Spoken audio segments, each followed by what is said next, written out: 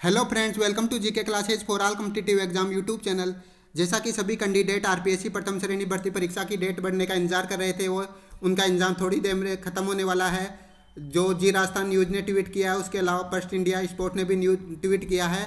जब व्याख्याता भर्ती परीक्षा की तारीख में बदलाव के आसार, बहुत जल्द हो सकती है आधिकारिक घोषणा। पंद्रह जनवरी को आयोजित होनी है। परीक्षा अभ्यर्थियों ने मुख्यमंत्री उप मुख्यमंत्री से लगाई थी गुहार। ये जी राजस्थान न्यूज़ ने ट्वीट किया है।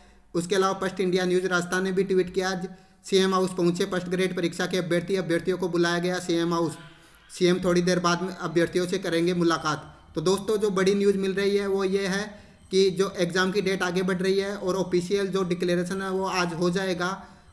और साथ में दोस्तों, ये भी पता चल रहा है कि फरवरी लास्ट वीक में, जैसा कि मैंने पहले ही बताया था अपने वीडियो में, कि एग्ज़ाम फरवरी लास्ट वीक तक जा सकती है।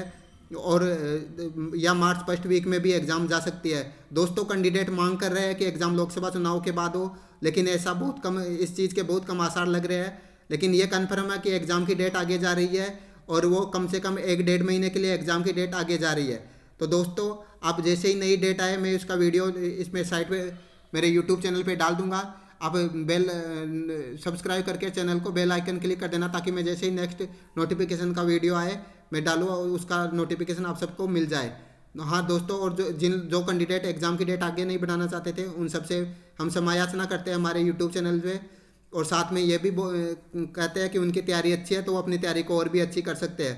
थैंक यू दोस्तों हैप्पी न्यू ईयर दोस्तों।